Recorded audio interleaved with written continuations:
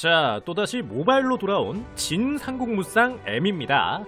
얼리시드에 이어서 넥슨에서 서비스하는 두 번째 진 상국무상 시리즈죠.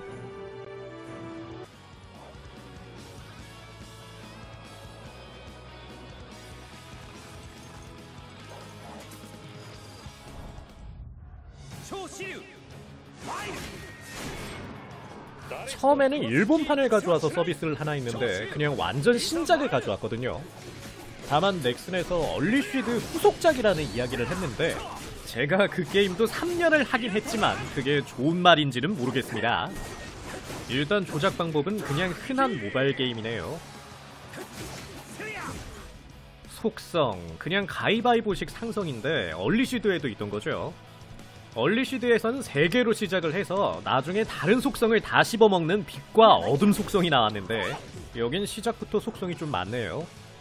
근데 저런 속성 같은 거 넣는 이유는 결국 컨트롤발로 넘기는 걸 최대한 못하게 막겠다는 거죠. 동시에 자동 사냥을 편하게 만들어주고 혹시 맵도 계속 이런 식이면 거의 자동 사냥 특화 게임이라고 봐야겠죠.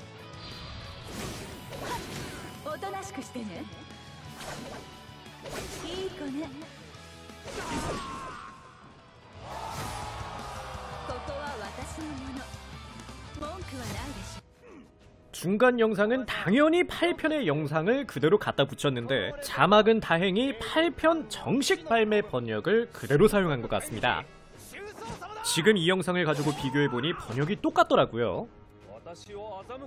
물론 영상이 아닌 상황에선 또 대인대인 거립니다. 여튼 다음으로 보여주는 콘텐츠는 자잘한 스테이지 클리어였고 그리고 익숙한 그것 다음으로 스토리 모드가 열렸는데 대사는 8편의 것을 그대로 사용합니다. 그래서 원작을 해보신 분들은 그냥 다 skip하셔도 됩니다. 전투는 일단 수동으로 해봤는데 그냥 자동하는 게임이 맞는 것 같아요. 스테이지 3개를 clear하니 드디어 뽑기를 시켜줍니다.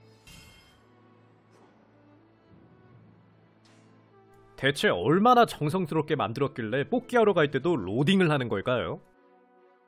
여튼 한번 연출이나 구경해보죠.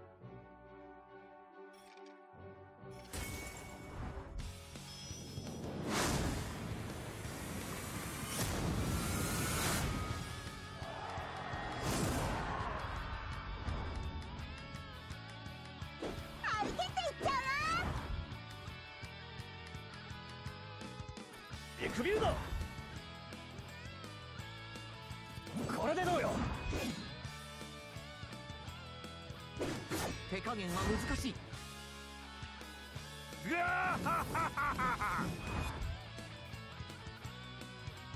これでどうかな。これでどうよ。勝負だ。エクビルだ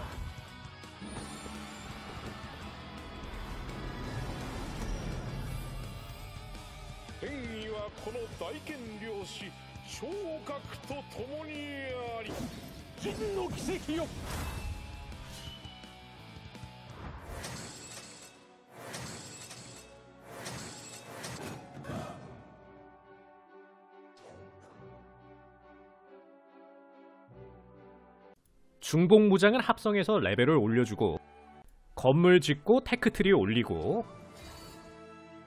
이제 메인 스토리 말고 world map이라는 sub 스테이지가 열립니다.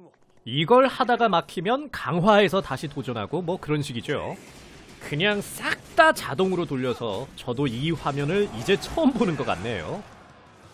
그나마 2장의 마지막은 직접 손컨을 하긴 했는데 플레이어에게도 super armor 게이지가 있어서 서로 맞딜을 하는 느낌이다 보니 뭔가 좀 화려해진 리니지 기사들의 대결 같은 느낌이더라고요.